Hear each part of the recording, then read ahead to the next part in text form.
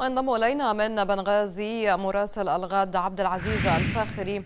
اذا عبد العزيز ما هي ردود الفعل على تصريحات عقيله صالح بشأن الحكومة الجديدة؟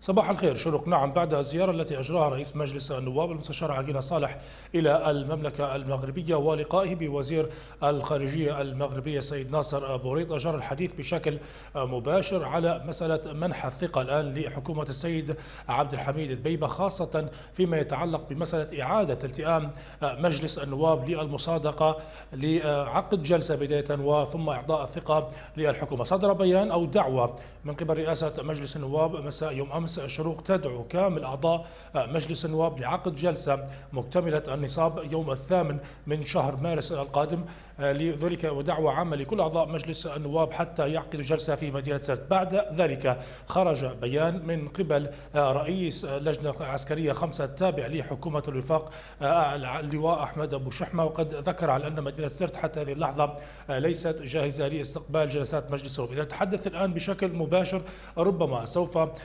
نتحدث الآن بشكل مباشر على أن هناك ربما لا تزال إشكالية المكان شروق لعقد هذه الجلسة.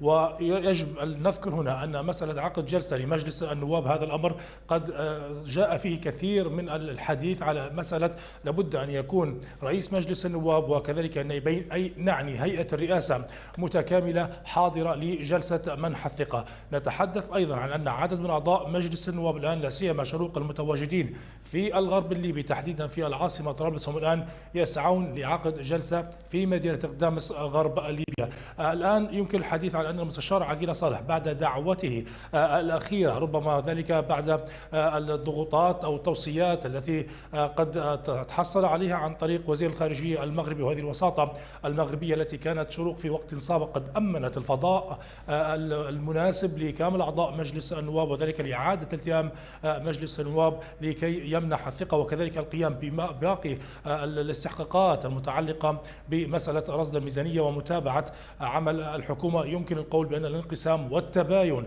في وجهات النظر ما بين أعضاء مجلس النواب لا يزال مستمر حتى هذه اللحظة وربما ذلك سوف يدفع السيد عبد الحميد البيبة حتى يذهب في الخيار الثاني الذي أشار إليه في وقت سابق ربما عرض حكومته على لجنة لجنة لجنة ملتقى الحوار السياسي ال 75 نعم عبد العزيز فيما يتعلق بتضامن المؤسسات الصحفية والإعلامية الليبية ما هي ردود الفعل من اختفاء زياد الورفلي مراسل الغد حتى اللحظة؟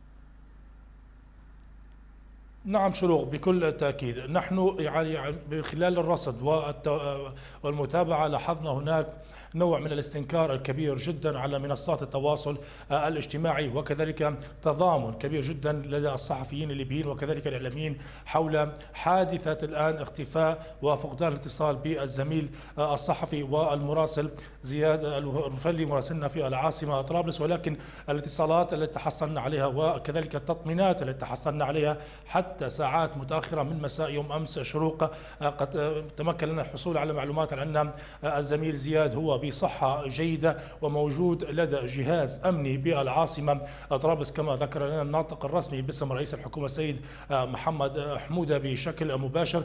عندما ذكر لنا ربما فقط هي إجراءات ثم بعد ذلك سوف يعود. نحن ننتظر ونترقب العودة إن شاء الله تعالى. ربما بعد ساعات ربما ظهر هذا اليوم أو عصر هذا اليوم على أقصى حد كما ذكر لنا السيد محمد حمودة الناطق باسم رئيس الحكومة سوف يعود بإذن الله تعالى إلى بيته. نعم عبد العزيز الفاخري مراسل الغد من بنغازي شكرا لك.